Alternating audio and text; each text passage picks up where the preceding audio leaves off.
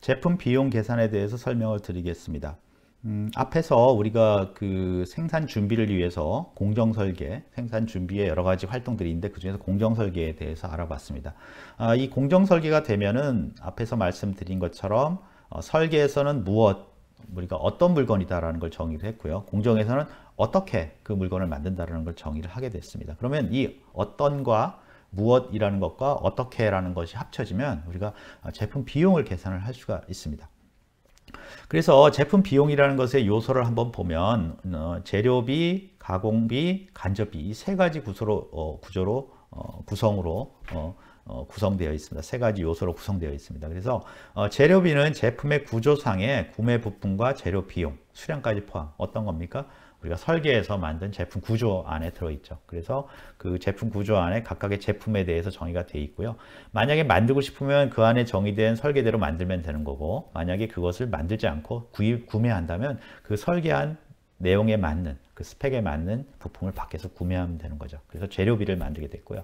어, 공정을 하면 뭐가 됩니까? 가공하는 방법이 나오죠. 가공하는 방법이 나오니까 거기에 이제 소요되는 시간 같은 게 나오게 되고요. 그래서 어, 가공비는 뭐냐면 그 어떤 제품을 어, 단위 제품을 만드는데 어떤 공정이 필요하고 그 공정에 시간이 필요하죠. 그리고 그 공정을 하기 위해서는 사람이 필요합니다. 그러면 그 시간과 그 사람 필요한 사람의 표준 임금, 단위 시간 단 임금을 알고 있으면 그때 그, 그 공정을 단위 제품을 만드는데 필요한 인건비가 나오게 되죠. 그래서 그렇게 해서 만든 게 이제 가공비라는 게 나옵니다. 그래서 가공비는 제조 공정상 참여 인력과 그 작업 시간, 결과적으로 그 참여 인력의 단위 인건비를 알고 있으면 시간당 인건비가 되겠죠. 우리가 어, 그때 들어간 비용을 계산할 수가 있습니다.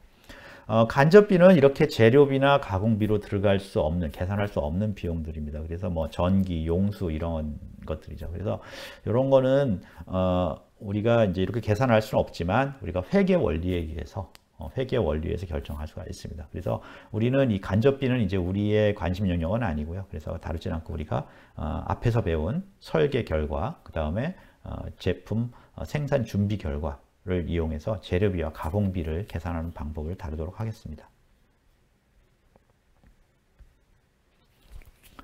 어, 비용을 계산을 하기 위해서 예를 하나 가져왔는데 이거는 전 시간 마지막에 보여드렸던 예입니다. 그래서 로터가 있고요. 핀이 있는데 핀은 외부에서 구매하는 거, 샤프트하고 팬이 있는데 요거는 내부에서 제작하는 거.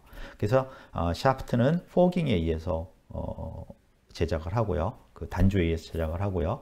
팬은 어, casting에 의해서 제작을 한다. 그 다음에 그 두 개, 전부 다 이 두 개의 제품을 만들, 두 개의 부품을 샤프트하고 팬을 만들고 핀을 어, 세 가지 이제 부품이 준비되면 어떻게 됩니까? 그걸로 assembly를 하는 거죠. 그래서 로터를 만든다. 이런 세 개 단계의 어, 떤 어, 공정이 지금 정의가 되어 있습니다. 어, 정의한 것들을 다시 한번 표현을 해보면 이렇게 됩니다.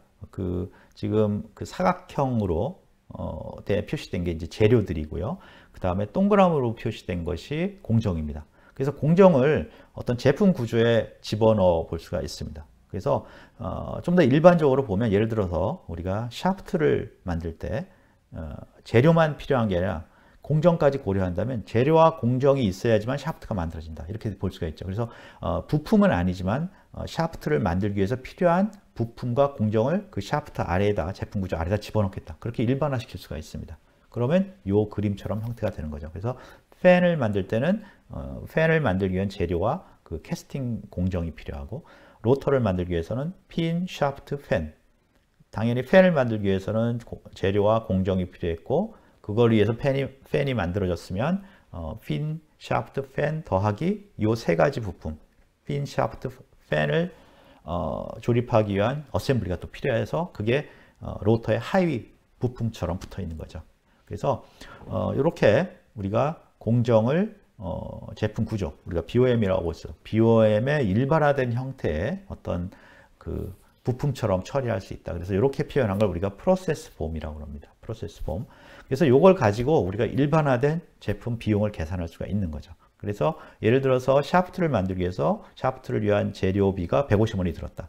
그 다음에 그거에 음, 단조, forging을 하기 위해서는 어, 예를 들어서 어, 0.3 단위 시간이 들었는데 이 일을 하는 사람의 단위 그 임금은 시간당 1,500원이다. 그러면 어떻게 됩니까? 이 시간하고 단위 임금을 곱하면 이 사람의 어, 그 가공비, 그 임금 그때 필요한 인건비가 나오는 거죠. 그러면 그것도 비용이죠. 그러면 샤프트는 아래 어, 재료비랑 인건비를 더하면 샤프트를 하나 만드는 데 드는 비용이 나오고요. 그런 식으로 다 어, 이제 팬에 대해서도 계산할 수 있고요.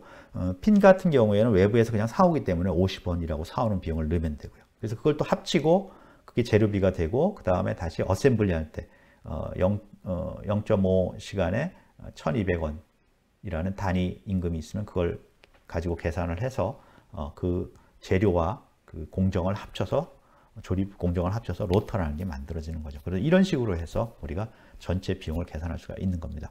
그래서 여기 그림에서는 이제 재료비만 계산을 했죠. 재료비만 계산하면 핀 구입할 때 50원 들었고요. 샤프트의 재료로 150원, 어, 팬의 재료로 2,000원이 들었네요. 그래서 요거를 합치면 2,200원 한 개당 로터 한 개당 2,200원의 비용이 들어간 거고요. 어, 공정비 같은 경우에는 이제 앞에서 말씀드린 것처럼 어, 단위 시간, 그 다음에 어, 거기에 들어 단위 거기에 들어가는 시간, 그 단위 제품을 만드는데 필요한 공정당 시간. 그래서 어, 예를 들어 샤프트 같은 경우에는 0.3 시간, 팬 같은 경우에는 0.2 시간 이런 식으로. 그 다음에 그 일을 하는데 단위 어, 그 어, 작업자의 단위 임금, 시간당 임금. 그래서 그걸 쭉 합쳐서 더하면 공정비가 1,350원이 어, 드는 거죠. 그래서 우리가 간접비를 제외한 제품 비용은 재료비로 2,200원, 어, 공정비로 1,350원, 요 로터 하나 만드는데 그래서 합치면 3,550원이 드는 거죠. 그래서 이런 식으로 우리가 어, 생산 준비를 해서 생산 준비해서 공정을 만들면 비용을 계산할 수가 있습니다.